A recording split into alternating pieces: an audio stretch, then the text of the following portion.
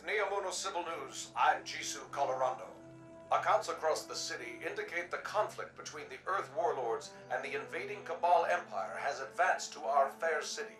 The Vex have taken advantage of the chaos to encroach on the Western Front, transforming our plazas into an active war zone.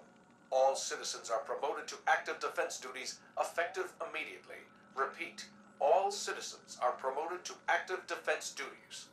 Stay tuned to Neomuna Civil News for updates.